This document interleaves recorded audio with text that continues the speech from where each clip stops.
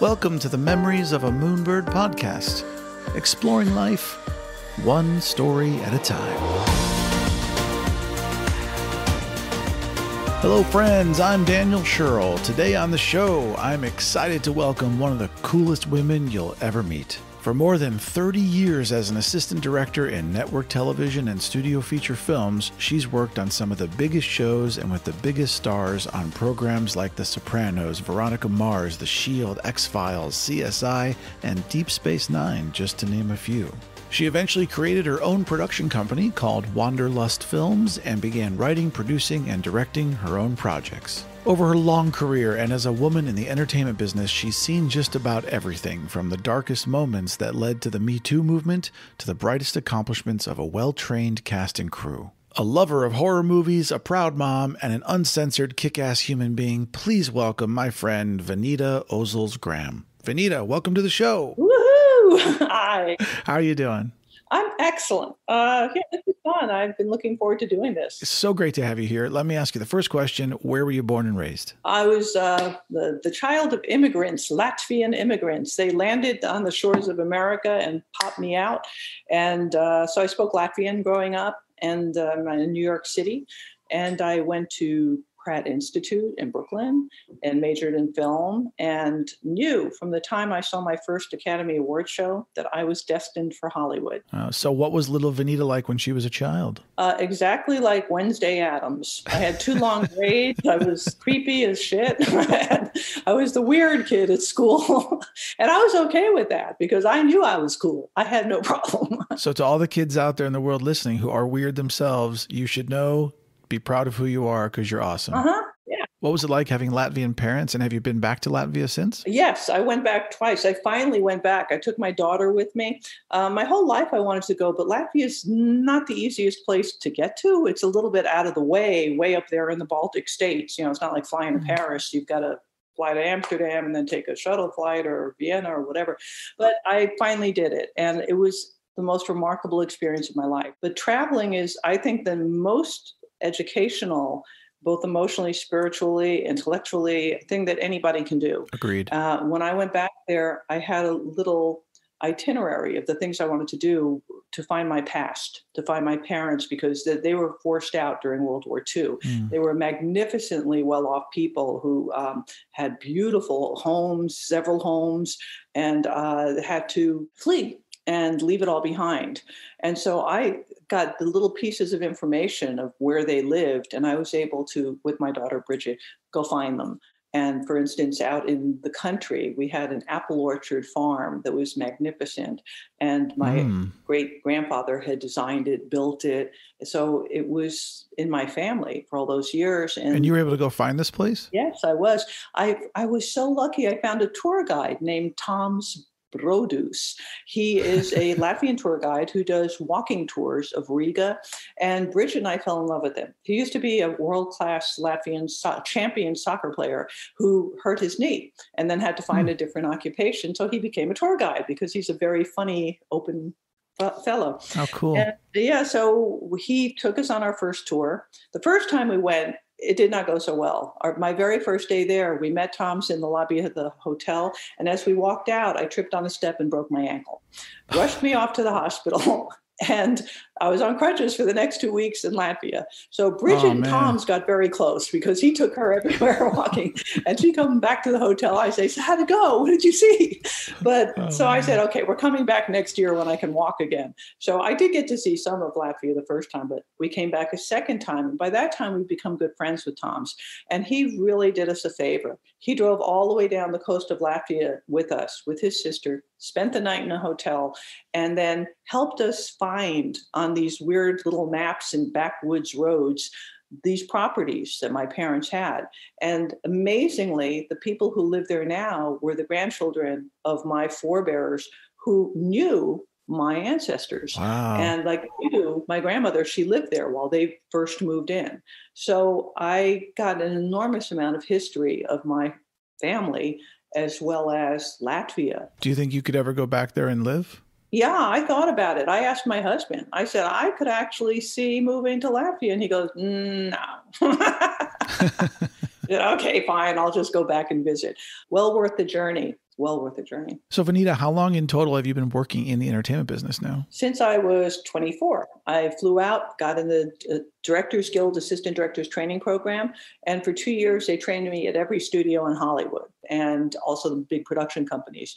So then I got my days in. I was qualified to be a second assistant director, and I just worked steadily after that until I got my days in to become a first assistant director. And then I worked steadily on that. And then it was up to me to figure out how to become a director. I always thought being an assistant director meant that you were a baby director, that you would become a director. Mm-hmm. No, it's actually the pathway to become a producer. And I had no interest whatsoever in being a producer. I'm a creative person. I write and I want to direct. So it was a struggle for me figuring out how to cross over from production into the creative end of the business. And I had a few almost opportunities, like um, Alien Nation. They said, You've been approved to direct an episode in the back 13. I was like, Great. And um, right as my episode came up, Barry Diller canceled the show. He got in a tiff with the executive producer. I was going to get a chance directing a show called Second Chances with Connie Sellecca the earthquake hit and destroyed the entire set. Oh, as oh, man. we discovered she and her co-star were both pregnant, and it was a show about single women finding love. So they canceled the show. It's like um, several things like that happened to me where I was just about to get my dream, and poof, it went away. So I began to realize this this is not going the way I thought it was going to go. I thought there would be like a natural path.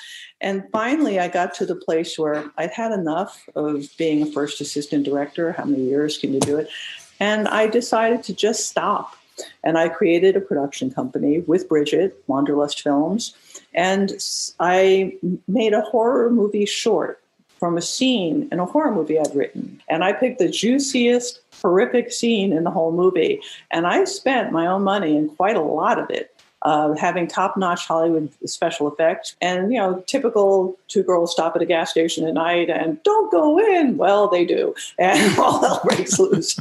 And uh, I wanted to prove that I could direct horror and uh, violence, as well as a man. Well, no, wait, let me ask you why horror? Because that's going to be one of my questions. What's with the love of horror? Why does it compel you? Since I came out of the womb, Latvians, I think, um, have a, a, kind of a dark nature to our culture. When I was a little girl, I remember my grandfather sitting by the fire reading a book with pictures in it. And I remember looking over his lap, and there was a werewolf in one of the pictures. And I went, What's that? And he said, Vilka Villa. And I said, What's that? And he goes, werewolf. I said, What's that? and so he educated me on what a werewolf is. And, uh, well, you know, Moravia, Transylvania, the those Eastern European blocks, very similar to Latvia. That we have that kind of dark, historical, strange side to us. And so I, I just think it's innate in my DNA that I've been interested in horror my whole life. So it's been over 30 years then that you've been working in entertainment. Was your first professional job as an AD? Yes, an assistant director trainee, actually, for the Directors Guild because I was in the program and that lasted for 500 working days, which was a little over two years. And for people who don't know, can you explain what an assistant director does? I would summarize it by saying they maintain order on set, they take care of the production schedule, they take care of health and safety of the crew and logistics and stuff. Is there more to it than that? It depends on who your director is. I happily segued into working with a handful of directors like Kenny Johnson, who did The Bionic Woman, um, The Incredible Hulk, V, Shadow Chasers. Uh, he's a science fiction guy. And science fiction is my second love after horror because sometimes they're actually interconnected. So I wound up working with him when I was a trainee, and then I went on to work with him for the rest of my career. Like every third show would be a Kenny Johnson production. Cool. And he would let me occasionally direct something. He'd say, Here, I'm busy with this scene. Go over and set up the next scene. I'll see what you did. And I would do that. And then he'd come in and he'd look it over and you know he'd make his adjustments. But he he valued my creative abilities. Many people don't look at assistant directors as creative people at all. They look at them as the schedule makers, as you said, running the set, everything's on time. Look at your watch all day. Yeah, a lot of people are like the assistant director is not your friend. He's the per- he or she is the person that's like, let's go, people, let's yeah, go. You know, correct. And it was difficult for me because I love actors, and sometimes I sort of have to be on an actor's ass to make sure that they were moving along. But um, it taught me how to interface with the crew and actors by watching the good directors. I could see what I admired, what worked well, what made actors comfortable. And I could also see what made actors close up. And I used those skills when I started directing myself. Well, what do you like most about entertainment as a seasoned veteran in the business? It's the art of storytelling, which is as old as human beings. Cave people were doing it at night around a campfire and painting it on the walls, and we're still doing it. It's how we communicate all of our emotions and thoughts and fears. It's, and to me, movie making is the best. I was a painting major in college, and I had a great mentor there one day he told us, okay, so you're all going to be world class artists, got a lot of talent. You're going to get an agent. You're going to be stuck in your loft in Soho painting and, and uh, your demons, you're alone with your demons. And then your agent will come over and look at your paintings and say, wow, those are really great. But that's not what's selling right now. So put those aside, and this is what I need you to do. And you're going to go out and get drunk that night with all your other drunk artist friends, and then you'll go back and you'll and you'll be miserable that's the life that you're looking at. and I went, what? said, oh, that doesn't sound very good. And then I stumbled into movie making while I was at Pratt Institute in New York. I took a little film class without any thoughts about it at all. When I got that movie camera in my hand and I started shooting my own little films and writing them, it was an epiphany. I just went, I found it. My people, this is it. I knew from the time I was little that the Oscars and the movies and all that were just brilliant but I didn't realize that I could do it too. And now that I started doing it, I had to find the way to do it for the rest of my life. I'm curious, do you feel like the entertainment business is actually diverse today? Because diversity is the big hot button thing with our business. So much more diverse than when I started. When I started, it was a white world. I mean, whiter than white. Uh, I remember being on a bus one time going on a location scout. And when we all got off, I looked at the group of people I was in 20 people. It was all white men and me. And I was a white woman. and I remember thinking, gosh, is that a coincidence? And then I started watching every show that I was on, and I couldn't help but notice, my God, we're all white uh, I'm, I'm saying not one person of color or ethnicity. Uh, the only other women on the set were script supervisors, makeup women, and costume designers.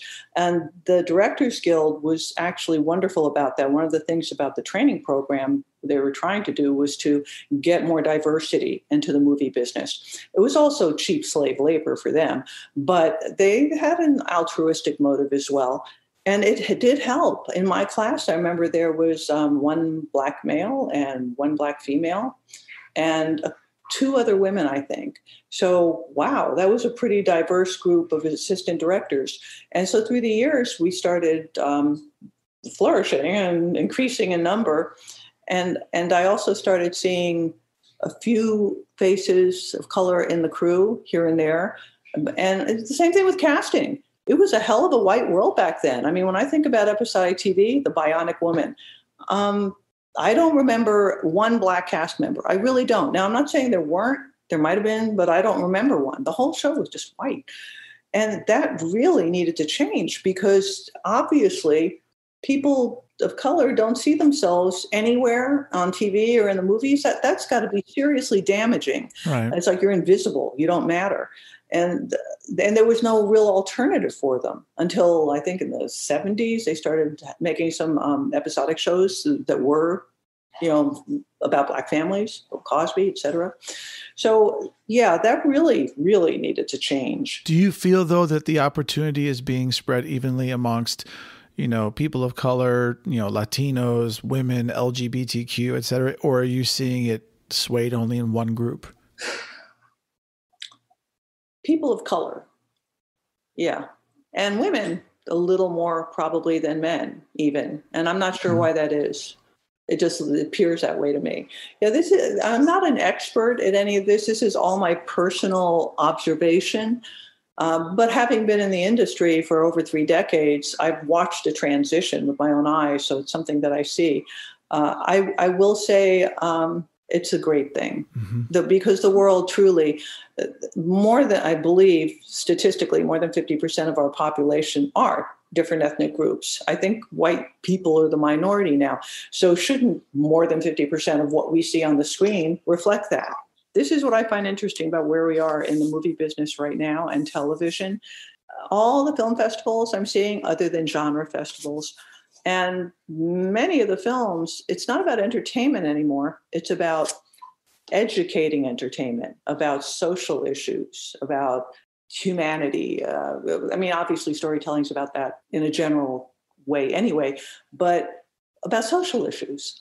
And we're very serious right now. This is not a time where there's, other than Marvel movies, sheer entertainment. And I actually, I'll be honest with you, I I miss it. I miss the really just fun movies. I miss the days of, and forget about COVID for me, but I miss the days of just going to the theater to have a couple laughs for an hour and a mm-hmm. half and detach and have some popcorn, hang out with my friends. You know, I, I I feel like it's harder and harder to find just solid fun entertainment. I think that's why movies like Marvel movies and Deadpool have such a huge audience because that's sort of the last place you can go to just escape reality. Mm-hmm. You know, reality has crept into the film industry big time. Do you think that the pendulum is going to swing back towards the middle? Yes. Yeah, I do. What does that look like to you? More diversity. Hopefully, God willing, we'll all be looked at equally and everybody will tell their own story and use who um, fits the part for their story. Storytelling is so personal. Hamilton broke that mold in an interesting way. It made me think when I when I'm casting my movies, I now cast and write with that little voice in my head. Could this be um, somebody who's not white? I don't know what it could be, but just not white, because I have such a, a white filter, having been raised in you know the 50s, for Christ's sakes, when I was born. Uh, it, it carries over into how I tell stories. And I'm trying to open up my own mind. Well, do you think that's the biggest challenge you face in entertainment? No, money. That's funny. Everyone in this business, from independent starter startups to Academy Award winning people, they all say the same thing: money is the biggest challenge. Yeah, yeah. Have you ever considered quitting the business? And if you did, what kept you going? When I was a second AD, I was not getting the opportunity to move up to being a first AD because I was a woman. I think there was one female first assistant director back then.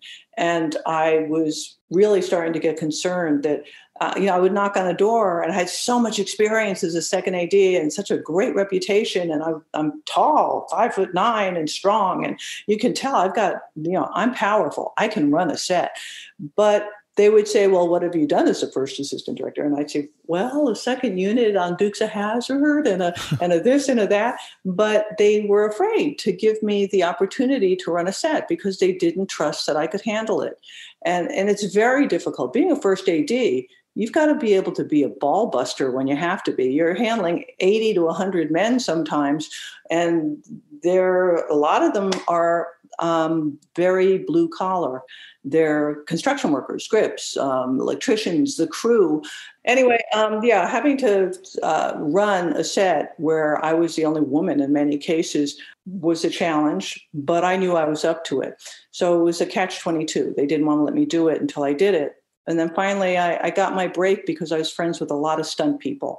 I love stunt people. My cousin's one. And I happened to be in Jerry's Deli having lunch with my stuntman cousin when the stunt coordinator from the second unit of the Dukes of Hazzard came over to our table. And, and I knew him really well. And he said, So, what are you doing? I told him my dilemma. And he said, Well, you want to be my first on Dukes?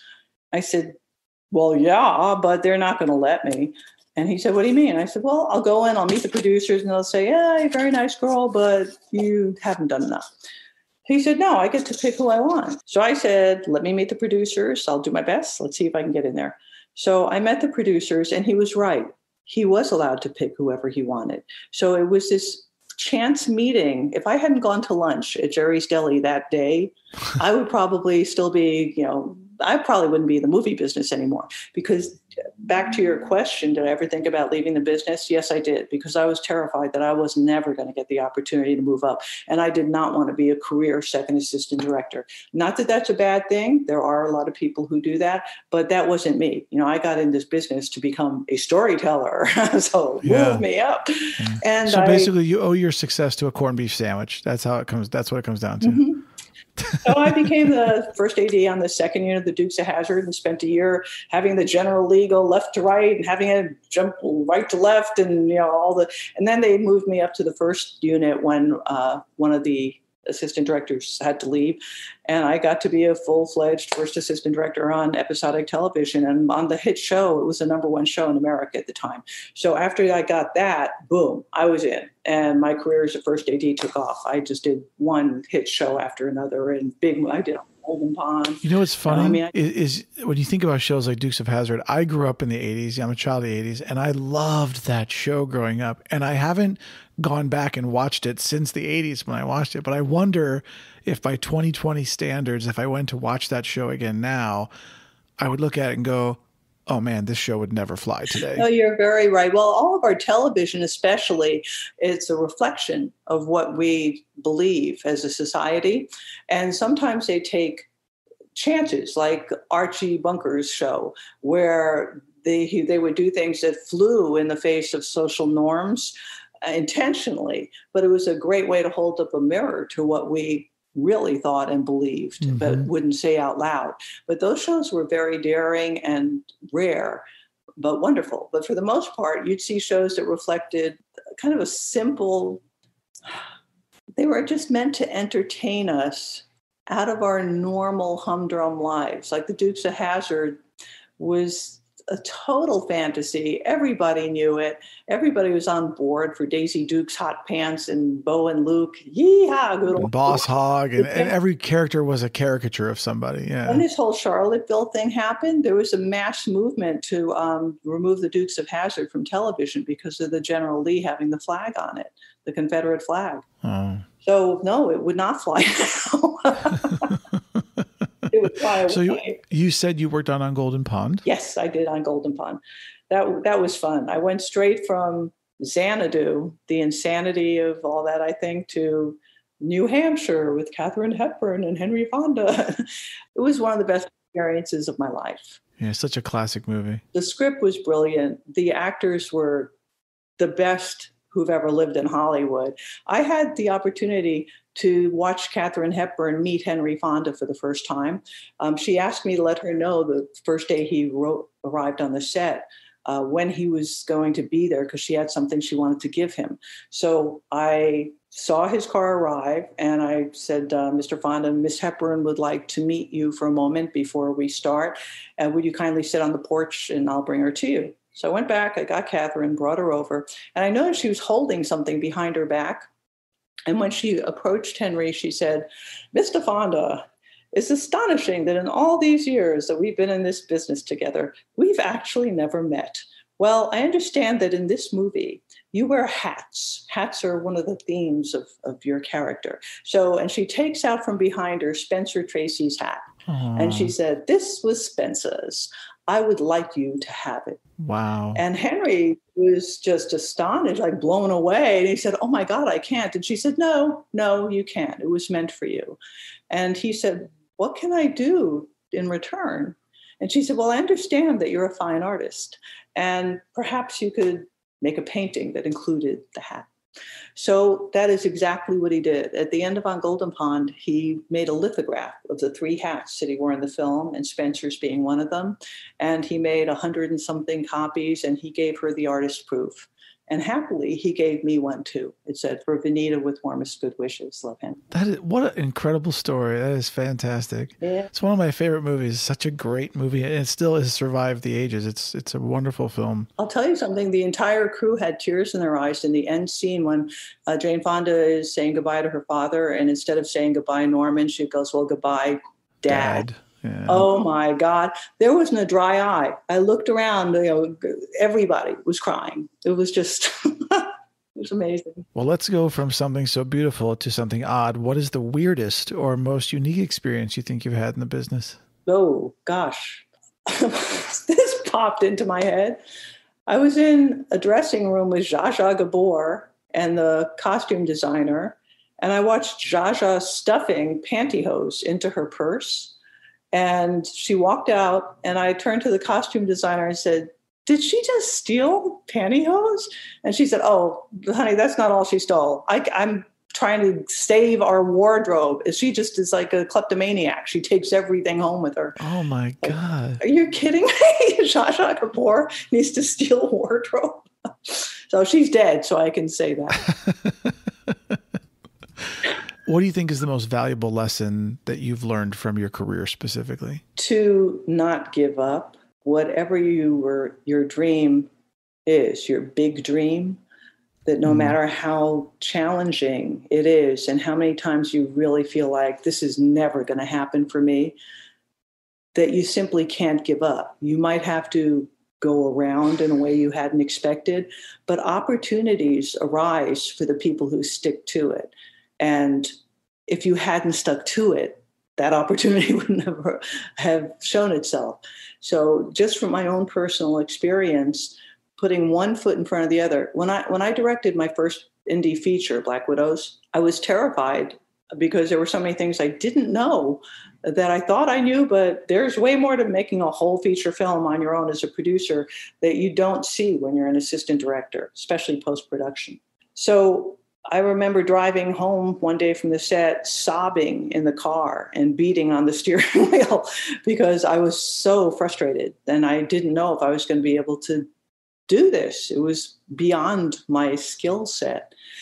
So, what I did is I went home that night and I spoke to a higher power. My father had passed away, but he was always my mentor. So I said, Dad, I need your help. I'm lost. I don't know what I do next. I, I, I, it's the unknown, and I don't know if I'm capable of doing this.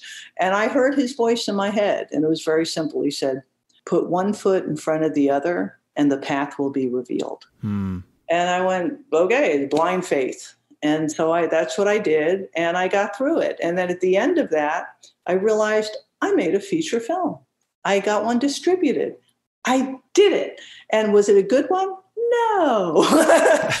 but I did it, which meant now I could take that concern, put it aside, and now work on making a good one. that is fantastic. Do you think, I'm curious, that being in entertainment has made you a better or worse person?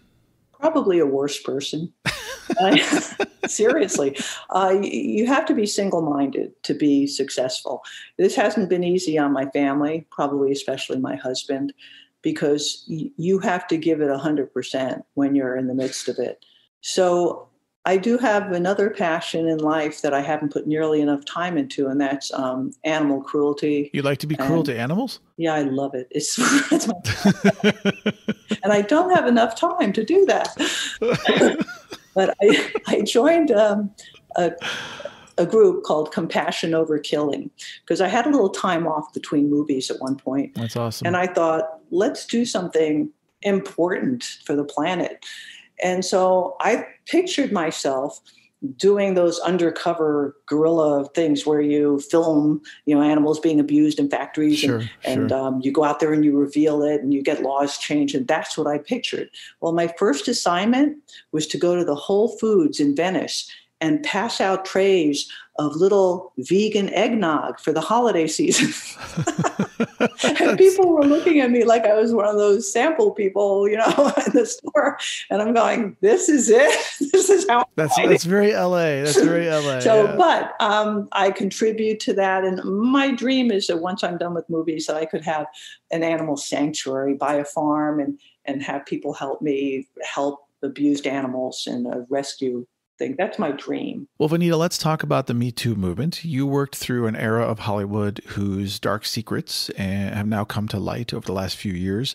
I'm curious, how was it for you working during that time? You know, were you were you treated badly, harassed, uh, assaulted because you're a woman? Hell yeah, left and right. People would do things like guys would tell dirty jokes loudly on the set right while I'd be standing close enough to hear them. And they, they did it intentionally to humiliate me. But people outright told me, you know, I listen to my wife screaming at home all night, and then I come to work and I have to listen to you. Yeah, it was bad. And I, I, could give you endless stories of what I went through. I got hired on Star Trek Deep Space Nine, and the production manager didn't like the fact that I was a woman. He had a guy that he had wanted to get the job, but the director wanted me. So, first thing he said when he met me was, Oh, I hear you have a couple of kitties. Is that going to be a problem? Wow. to which I responded, Would you have said that if I was a man? I mean, Jesus. And what did so, he say? Um, he's, he backpedaled. He said, "Well, well, no, but you know, being a mother is a really important job, and you know, I, I just concerned that you will be able to focus your attention here. I said, I have my family life covered. My husband, if you need to know, is taking time off from work while I'm doing this so that he can be Mr. Mom. But not that that's any of your business, but I've got my family life covered. Yeah, it was disheartening. So, when did things start to change for you? When did you see the business start to say, hey, some really dark stuff is happening here? I mean, was it with Weinstein that everything just kind of changed, or did you see stuff before that? In truth, sadly, it was very recently. There, there were subtle shifts because some men are wonderful and feminists and genuinely respect and honor women, Kenny Johnson being one of them.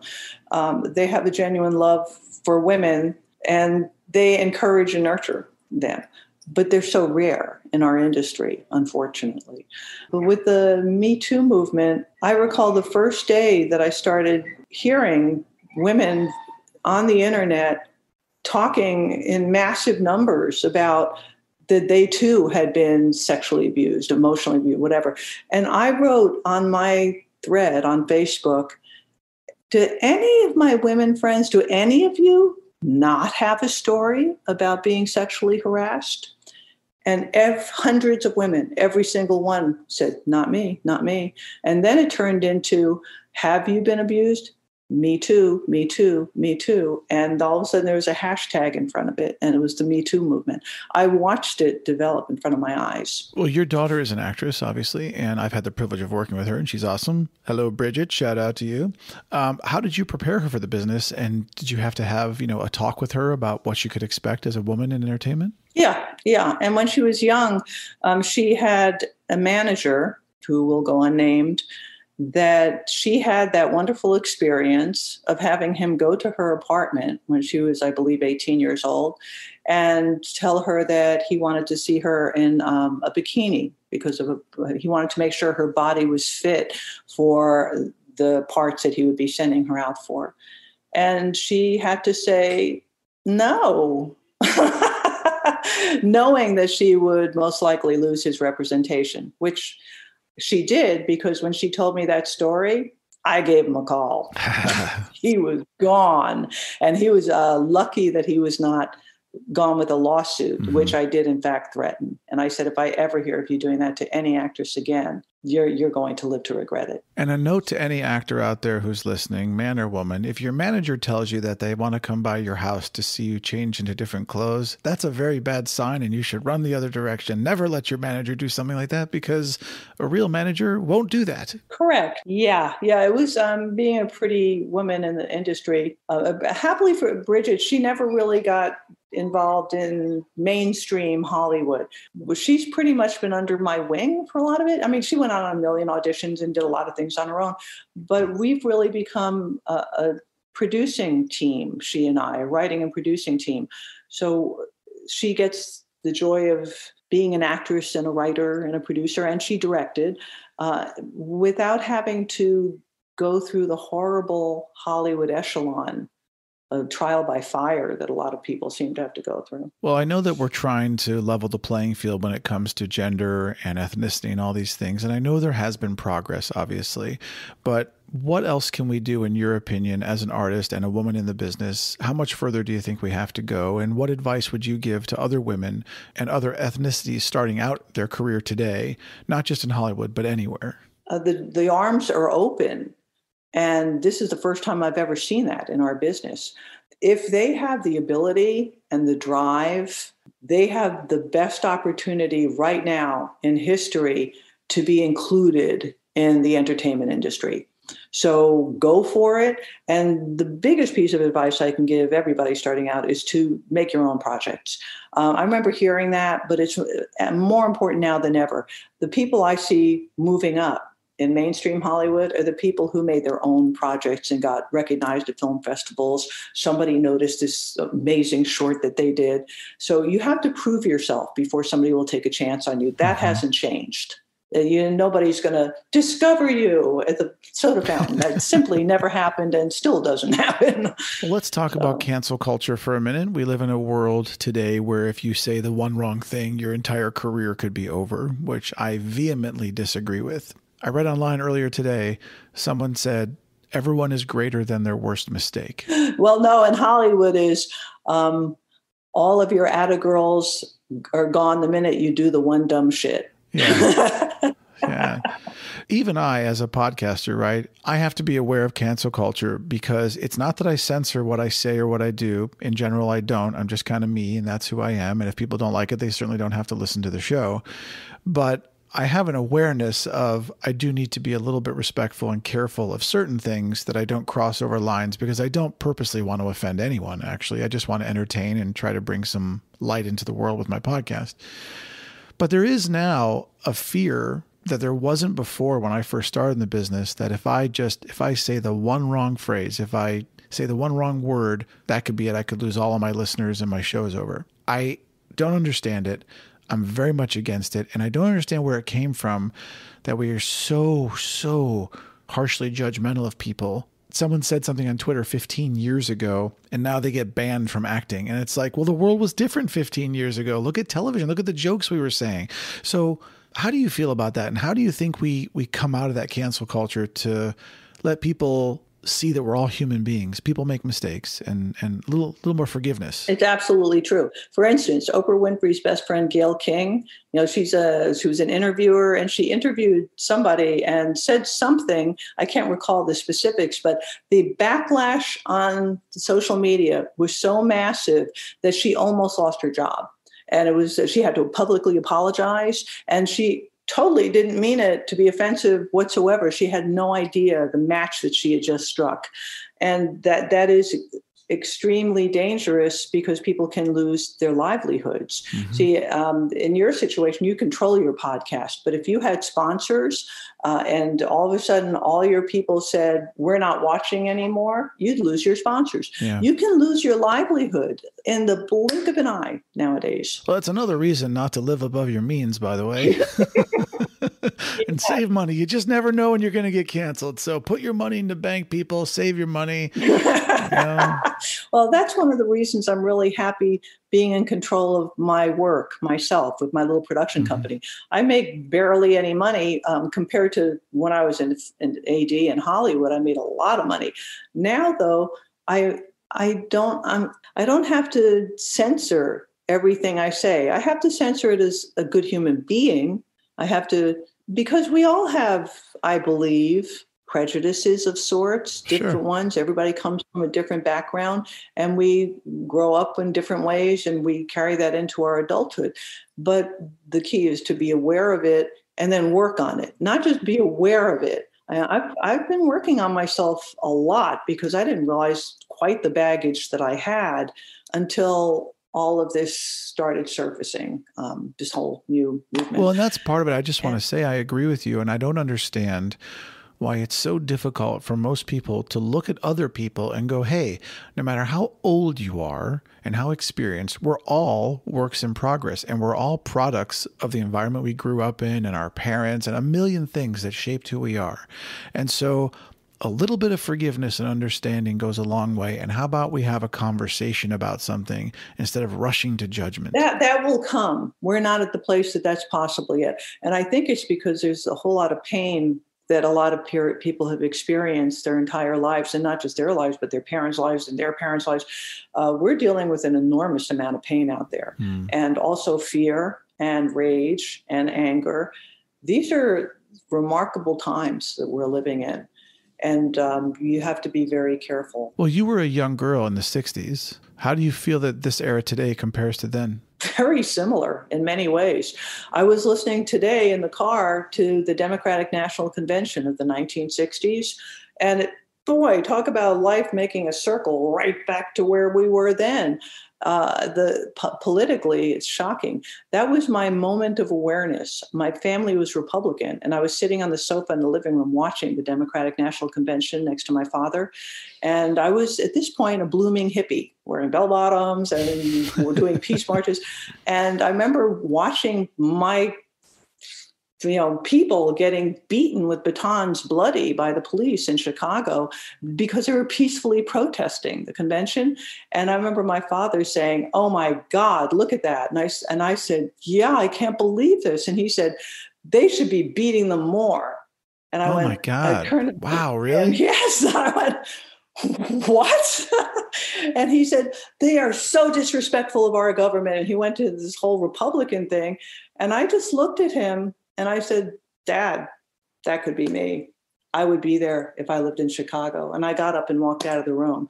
And that was the last political conversation I ever had with my family but it's awfully similar in so many ways and it saddens me enormously i mean didn't i march for roe versus wade for, for civil rights for equality for women's rights i would have burned my bra if i wore one but i didn't uh, none of that now it's it's all going backwards it's like what did we waste our time what the hell happened between the 60s and now that we've gotten so regressive in our social views. Well, Venita, let's talk about what you're doing today. You have a new project at Film Festival. Why don't you tell everybody about it? Yes, I'm very excited about this one. I wrote a short film uh, about a young woman who has the perfect life beautiful husband, adorable little toddler, lovely home. It's very 1950s. It feels like father knows best. And, and she's beautiful, and her life is beautiful. And you discover in the middle of the film that something is off when she goes to her therapist and says she doesn't need to have therapy anymore. Then the therapist comes to her home that evening because of an event that occurs, and we discover the truth of her reality. And I had the great fortune of stumbling into Sean Young, who read the script and said, It's creepy. I'd love to do it. and she did. Uh, it's uh, it came out exactly the way I wanted it to come out. It's the first movie that I've been able to really say this is a successful version of one of my scripts uh, it was talented people across the board. It looks great. It sounds great. It's fun. It's a great short. I loved watching it. I was very entertained. Thank you. Now, the problem is, as I said earlier, in film festivals right now, it's a challenge because right now in this climate, people aren't looking for that. It's everybody's so damn serious. I just watched a block of, sh- of short films in the Newport Film Festival fantastic short films. One of them won the Academy Award last year. I mean, the best short films I've ever seen in my life. And they were all about social issues, every last one of them. So that's what's going on. I'm, I'm hoping that I can find a festival that has one block of, and here's a little something different. Here's actually just some entertainment. yes.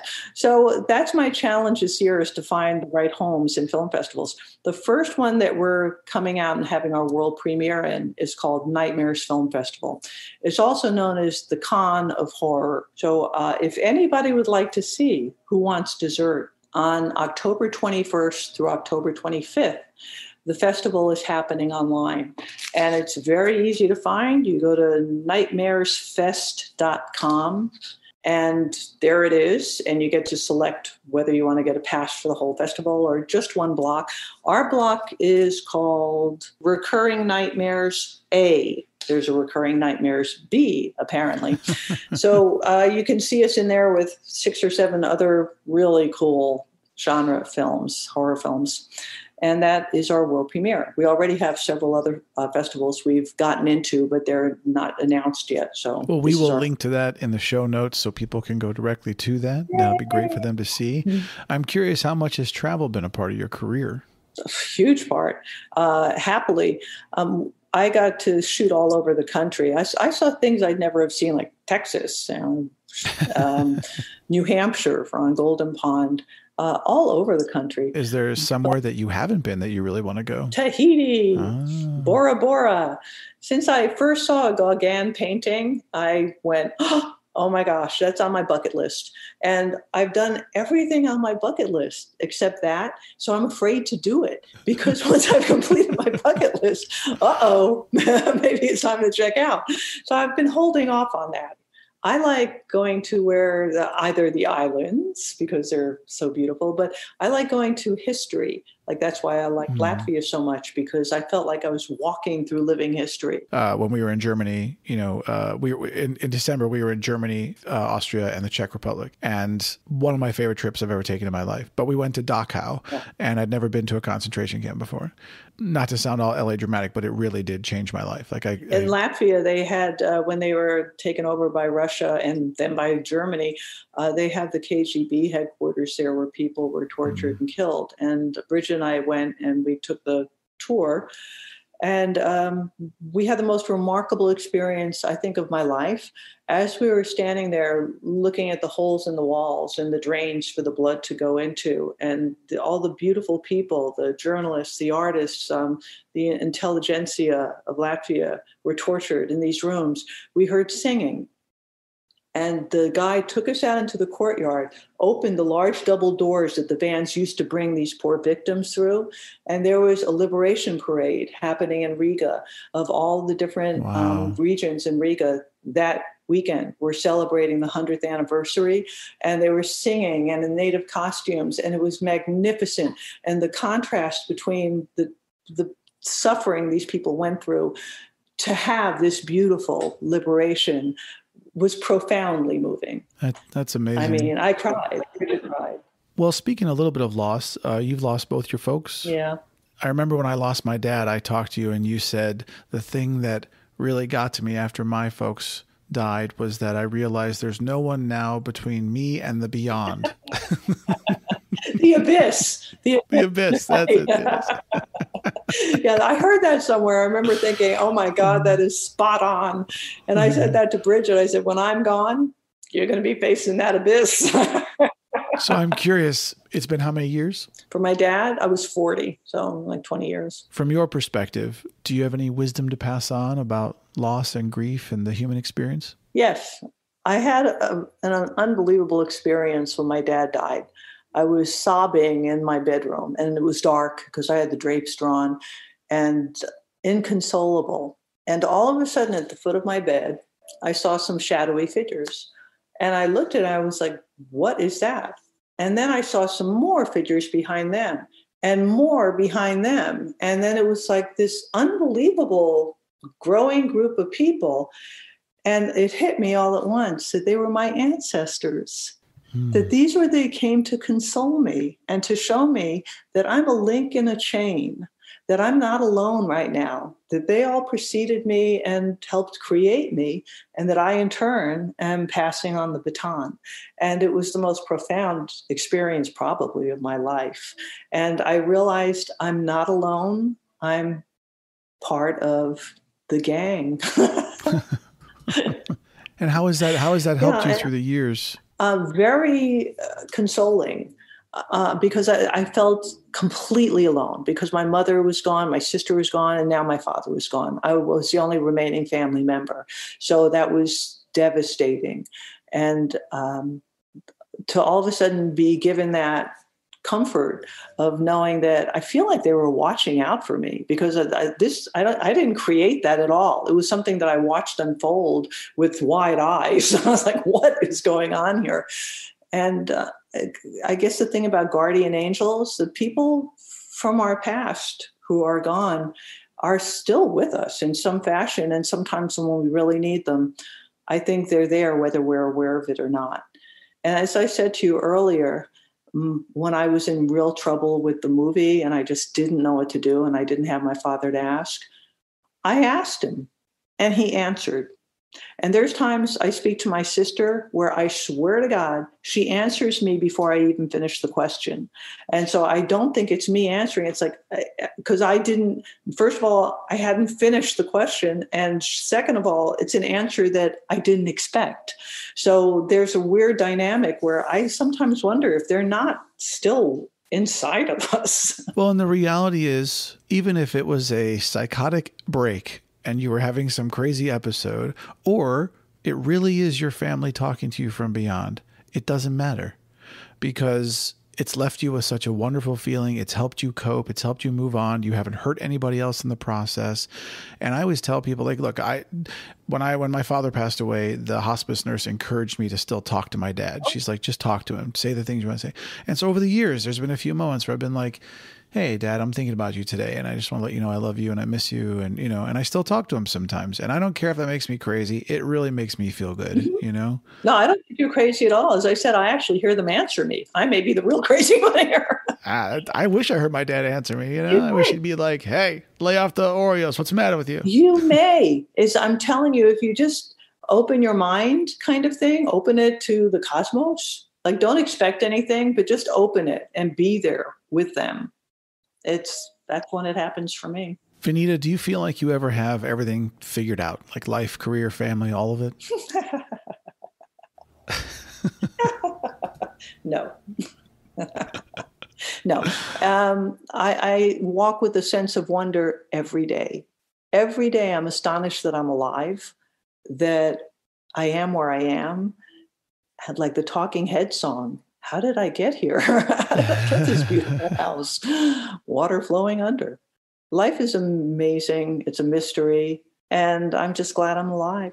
Has there been a key to your success? Perseverance. And if you hadn't worked for so many years in entertainment, what do you think you would have done? Been an artist, a fine artist, a painter or a sculptor. Can you name one big career ambition you haven't achieved that you still want to? Yes. To have an outside source finance my fucking movie.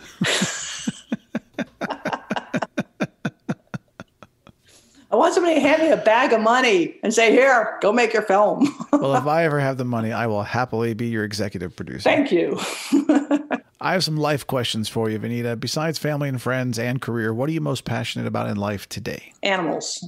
Animals are astonishing. I have discovered that they are so much more communicative with us than we realize. Uh, at least for me personally, but I see with other people too they have so much to offer us and tell us and show us, and we're just not open to it. And I learned this lesson from having a parrot. I got a little Blue Mountain lorikeet for my son, and I wound up wearing her on my shoulder for seven years. And we became totally oh, bonded. And I could read her mind. She read mine. We communicated without words. Uh, it was the best lesson I ever had in my life, and my the greatest love of my life. Mm. Truly, Bridget used to say, Mom, you love that bird more than you love us. And I said, Yes, I do. That's awesome. What was your favorite childhood book? Grimm's fairy tales because they are so dark. Oh my God. I remember being. You're so Latvian. Yes, three years old. I remember my father reading them to me. And I remember going, They ate the little boy. and, and I remember my father even going, yeah, this is a little intense. when you look back on your life, how did your priorities change as you got older? What's different now than when you were 20, 30, 40, et cetera? They change on a daily basis. they really do. Um, I, you know, I could say that 10 years ago, they changed to where my priority was now. I raised the damn kids. Now it's about making a movie. God damn it.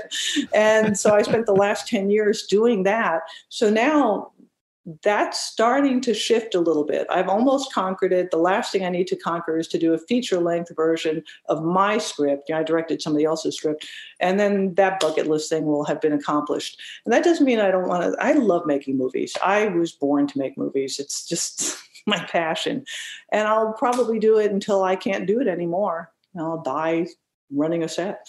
What do you do with your spare time? Like, what are your hobbies? What spare time? There's spare time. all I do is work on. Ask my husband. I wake up and I start working on my movies. it's like, oh, we'll skip that one then. Do you have a favorite food? Marzipan. Oh, cool. First person to say that. I'm a That's interesting. For marzipan. I can't not eat it. I'm a junkie. Uh, my son would always get me these huge 24 packs of little marzipan fruits. And within three days, it'd all be gone. And I'd be sick as a dog, but I could not stop eating them. Venita, if you were elected president of the United States of America today, what are the first three things you would do? Wow, that, that's an intense one. The first one would be to tell everybody that they were free, free to do and say what they want to say and do without the government interfering with them. Um, that being choice over your body, in anything. We're not a free country at all. And that is devastatingly painful to me. I grew up thinking America was land of the free, home of the brave. Well, it's not. And we need to change that. That's for civil liberties. Number two, Get church out of state completely. I agree. Number three, Universal health care. Everybody has a right to to having health care. Everybody. you got my vote, President Ozols Graham. Thank you. All right. So, one of my favorite questions to ask on the show if you could sit for four hours in an old timey pub, let's say this time in Latvia, and you can sit there with any person from all of human history, alive or dead, except for any of your family members and any prophet like Jesus, Moses, or Mohammed, who would you sit with? What would you drink? And what would you want to ask them? The first question. Roman Polanski. I'd have some schnapps, and I'd ask him what his childhood was like. Why is that? because I do know that his parents were killed um, in a concentration camp. And as a boy, I believe he was 11 or 12, he had to cross uh, two countries to get to France by himself. And I know that that formed him as the person he was. And yes, I know that there's a lot of baggage with the gentleman, but he's always been um, my idol as a filmmaker uh, in college. He's who influenced me to want to become a filmmaker. I saw his college thesis films and they were brilliant. And then Chinatown, and then I mean Rosemary's Baby, and then uh, Catherine Deneuve's film Repulsion. He is a man of completely my taste and style in filmmaking. And I would like to know more about him as a person. What's your guilty TV pleasure? Oh, I fall asleep to the forensic files every night. every night. I can't fall asleep without listening to his mellifluous voice talking about decapitations. And my husband, I go to bed before my husband. He says he comes in, and I'm lying there with a beatific smile on my face, sound asleep. And he's saying, They found the head 10 feet from the body. And he's like, Oh my God. Venita, if you could continue to live a healthy life, and I stress healthy, how long would you like to live? 76. Uh, not past that? Nope.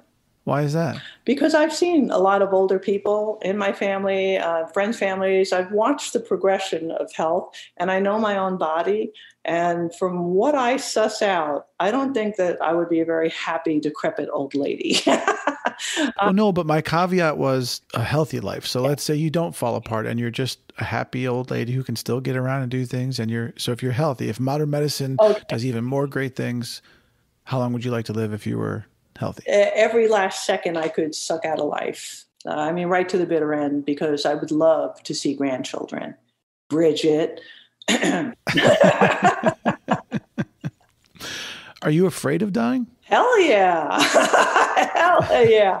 That's Well, it's just funny because you work so much in horror and see all these horrible things and blood and guts. And it's oh. interesting that you're afraid of dying. Somebody once asked me why I was obsessed with horror, and it made me have to think about it, and I I figured it out.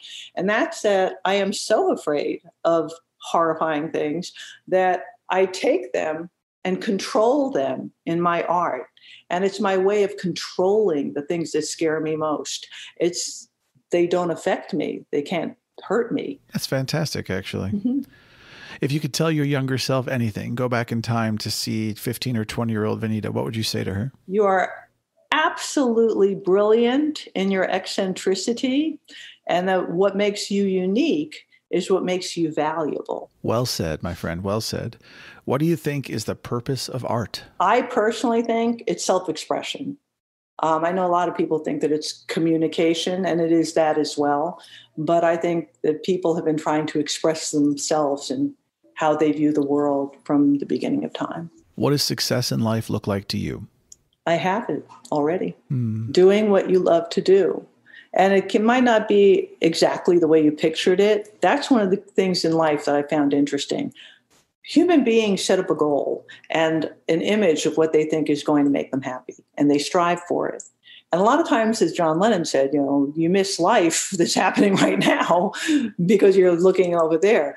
But I do believe that you can discover that you have accomplished your goal not in the way you thought it would be, but in the way life gave it to you.